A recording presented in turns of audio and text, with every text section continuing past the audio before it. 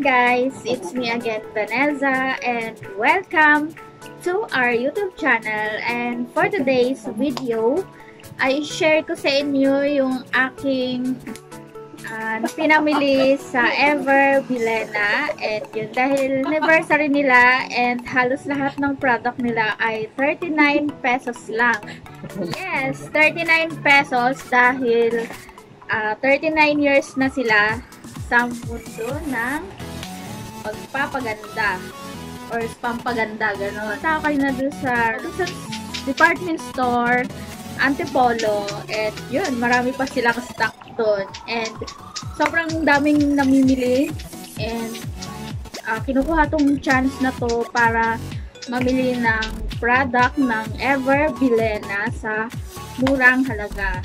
So, yan. And sobrang daming namimili doon. And uh, bawat na bawat and once na nakapasok ka na dun sa area ng Ever Bilena ay meron ka lang 5 minutes meron lang 5 minutes na bibigay sa'yo para pumili ng mga products na yun. So, yun. Kaya, medyo unti lang yung uh, napamili ko dahil nagkulang ako sa time. Yun, dahil pag namimili ako ng makeup, matagal talaga akong mamili. So, hindi ko naman alam na may uh, may timer pala na 5 minutes nung pumasok ako doon. Kaya yun, hindi ako nagmadali. And yun, unti lang yung nakuha ko. So, so ipapakita ko sa inyo yung mga napamili ko sa Robinson Department Store sa Ever Bilera. So, yan. So, yung napamili ko ay nagkakahalaga lang ng uh, 532 pesos. Kasama na doon yung tax. Kita ba? Saan ba? Ayan. So, meron siyang VAT na 57.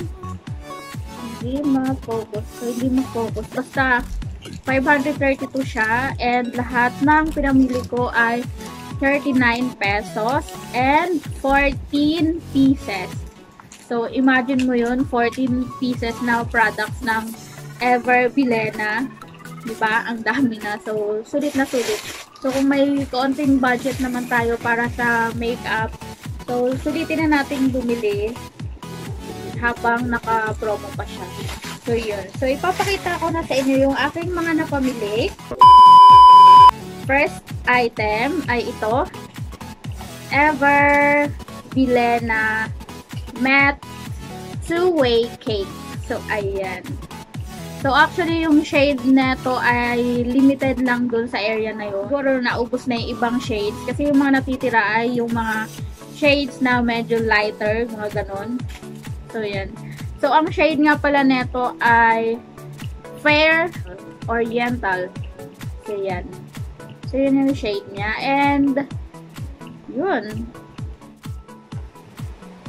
And, next naman, nag-avail din ako netong Blackwater BB Cream. Kasi yung shade naman neto ay beige. So, yan. Next item naman ay Ever Bilena na All Day Liquid Foundation. So, yan. Ang ganda ng foundation na to. And alam naman natin na marami nagkakagusto sa foundation na to. And nabili ko lang siya ng 39 pesos. Yes, 39 pesos. Tapos pag ang laki nang na ang laki na, natipid natin, 'di ba? So yan. Pero ang problema lang ay nag-iisa lang yung shade neto dun sa store na 'yon.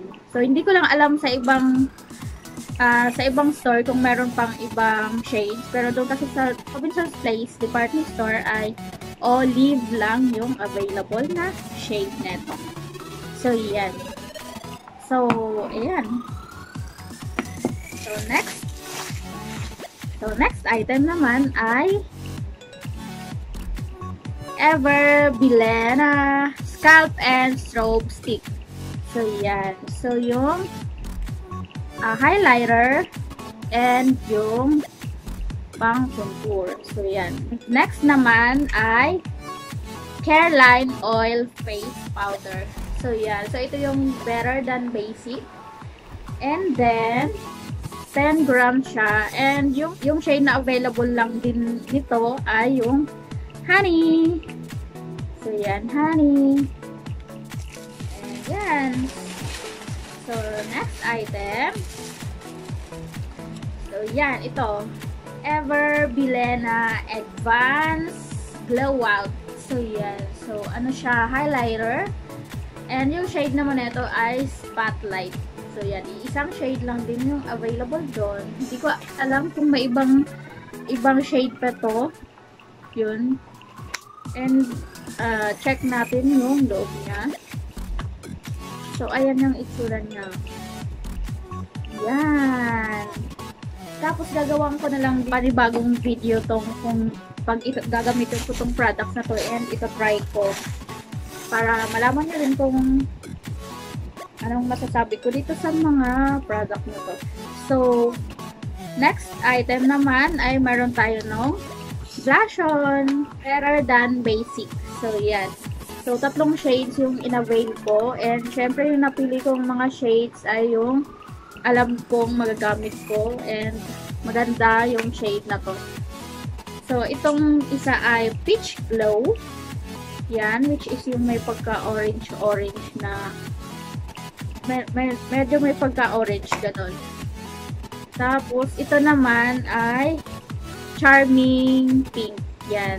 So, sa mga mahilig sa amin, ito pink, pink, ganon. And then, ito yung pinaka-gusto ko dito, si Starlight Shine. Yan. Ito yung pinaka-gusto ko sa blush on ni Hairline. So, yan. Next item naman ay meron, syempre, syempre kumuha tayo ng lip and cheek stain. So, ito yung ito yung patok na patok sa mga teenagers, sa mga estudyante, yung and cheek nila. And yun. Hindi pa ako nakapag-try neto and itatry ko siya next video ko. So, yan. So, yung shade naman neto ay Fresh Fig. Fresh Fig. So, yun yung shade niya. And 20 ml. So, yan. So, next item naman ay kumuha tayo ng kanilang sealer stick. So, yan. Ang betsura nito. Alam ko, nag-try na ako nito before. And yun. So, next naman ay, doon na tayo sa lipstick. Tatlo yung in-avail kong lipstick na yung shade niya ay Toast of New York. Fairness, pahirapan. Hala, sa punit. So, ayan. So, ayan yung shade niya. May tsura niya. Bullet type ng lipstick. So, ayan, di ba? Bango niya. So, try natin siya. Ayan, medyo may pagka red brown. Ayan, ganyan. Tapos, meron din kasamang lip balm. Ayan. Ayan. So, 39 pesos lang din siya. And, hindi ko lang alam kung long lasting yun. Next naman, ay itong kanilang matte liquid lipstick. And, dalawang shade yung in-avail ko dito. Itong isa ay Vamp Red. And, yung isa naman ay Fierce Red.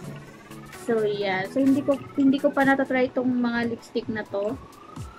Kaya, excited ako na gawaan siya ng uh, makeup review or gawaan siya ng video or gawaan siya ng makeup tutorial, ganun. So, yun, wala na. So, naka, ayun, 14 items na and yun, yun lang and parang nabitin lang ako dahil dami-dami pang gusto kong bilhin doon. Pero, uh, naaputan nga ako ng 5 minutes. Kaya, ito lang yung na-avail ko yung 14 pieces.